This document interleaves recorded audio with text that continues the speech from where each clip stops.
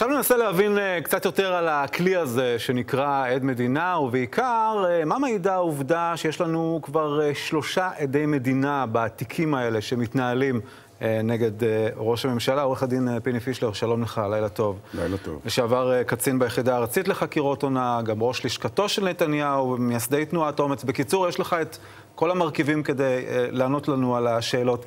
על מה מעידה העובדה שיש כבר שלושה עדי מדינה בתיקים? אני לא מתרגש, אני רק מתרגש מהמספרים. Mm-hmm.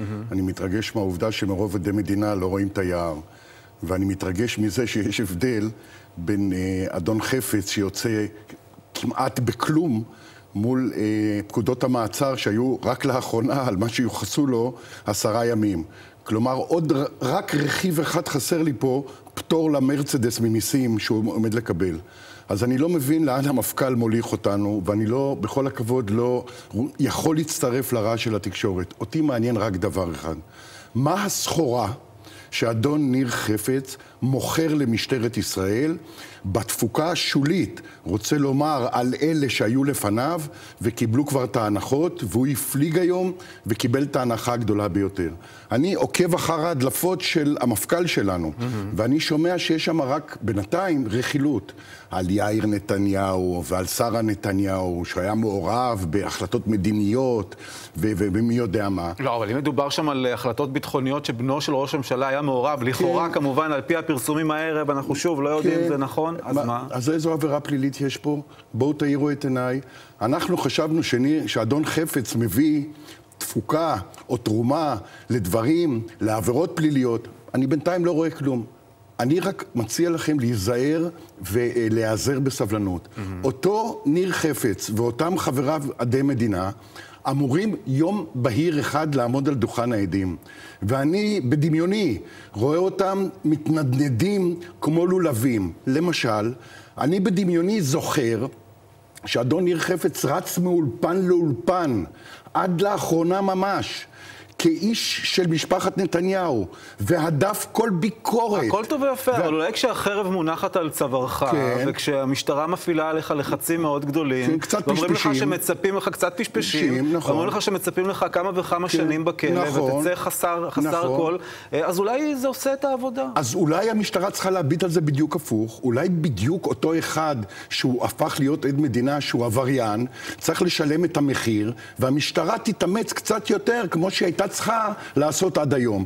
אומרים לנו, אדון ניר חפץ עכשיו יפתח את תיק אלף ותיק אלפיים ותיק ארבעת אלפים, ללמד אותך שלמשטרה לא היה את מלוא חומר החקירה החסר בתיקים האלה. או משהו... שיאמרו לך מנגד שיש לנו שלושה עדי מדינה כי uh, כמות השחיתות, לכאורה, בסביבתו של ראש הממשלה היא כל כך גדולה, כן. שצריך עד מדינה אחד לפרשה כזאת, ועד מדינה uh, לסוגיה uh, uh, כזאת, ועד מדינה לסוגיה uh, אחרת, וככה להביא תיק מושלם, והנה אנחנו רואים עבודה יסודית של משטרת ישראל. אז אני מכיר עבודה יסודית אחרת לגמרי של משטרת ישראל. אני מזכיר לך שבתיק 4000 יושבים, ככה הפרסומים, 200 חוקרים של אנשי להב 433 בתיק אחד, mm-hmm. עם האזנות סתר. אז איפה תרומתה של משטרת ישראל אם היא צריכה לעמוד עם חכה ולדוג כל אחד שזז כעד מדינה.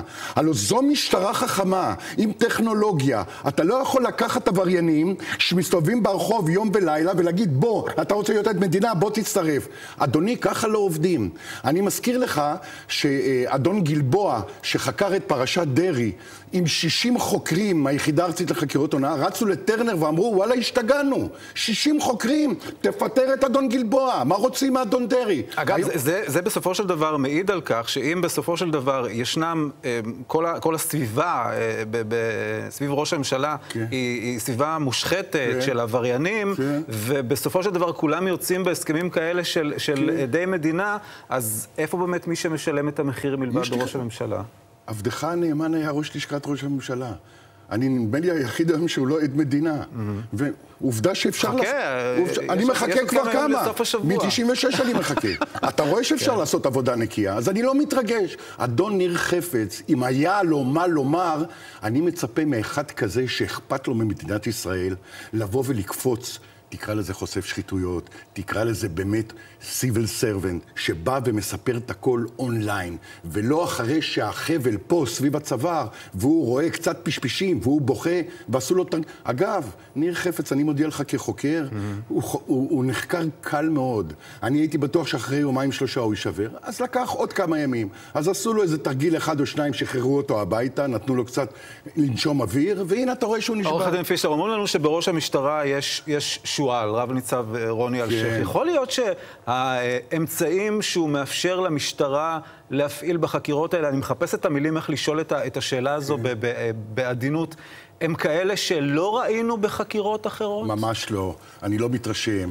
חבר'ה, אה, אה, הרעש התקשורתי באמצעות הדוברת, ושופוני אנס, והנה אני עושה, אל תתרשמו מזה. אני עוקב אחר המפכ"ל הזה הנוכחי מהיום הראשון. לא, אני שואל את השאלה דווקא לחומרה. יכול להיות שהמשטרה משתמשת כאן בכל מיני כלים שמביאים את אותם אנשים בסופו של דבר לחתום על הסכם, על הסכם עדי מדינה. תן לי את התקציבים שאתה מעניק... ברירה כמובן. תן לי את התקציבים האלה, או תיתן לזיגל, אה, בשנים שזיגל גוגל היה ראש יח"א, אז חביבי, כל המדינה היינו הופכים אותה, זו חוכמה קטנה. Mm-hmm. השאלה היא האם המשטרה עובדת באמצעים כאלה ששלושת עדי המדינה יושבים בבית סוהר, קודם כל.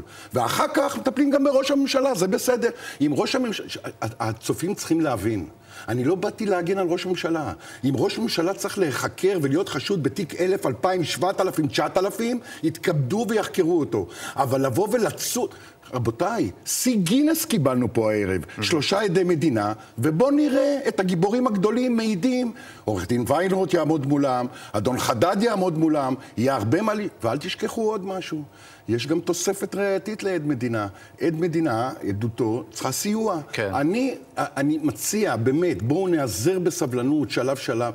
כבר היום התחילו הדלפות, כבר התחילו. וזה, וזה עוד לפני שדיברנו בעצם על הסוגיה העקרונית, שאנחנו מדברים כאן על חקירות שכולם בסופו של דבר נוגעות ליחסים של נתניהו עם כלי התקשורת, ונתניהו הוא בעצם הנחקר היחיד כאן, או הגורם היחיד כאן, שעומד בפני uh, כתב אישום, ולא uh, גורמים אחרים אני... שאולי היו מעורבים, או פוליטיקאים אחרים שהיו אני... מעורבים. ביקשו ממני לכתוב מאמר בישראל היום, אז כתבתי. אני חושב שאם אנחנו חוקרים מי שמבקש תקשורת אוהדת, הראשון צריך להיחקר זה מפכ"ל המשטרה, mm. עם 100 דוברים שלו, עם 800 אלף שקל של ליאור חורב, עם אה, אה, דוברת המשטרה, עם אילנה דיין שנה וחודשיים צמודה. אז אה, יש מישהו במדינה שלא רוצה תקשורת אוהדת.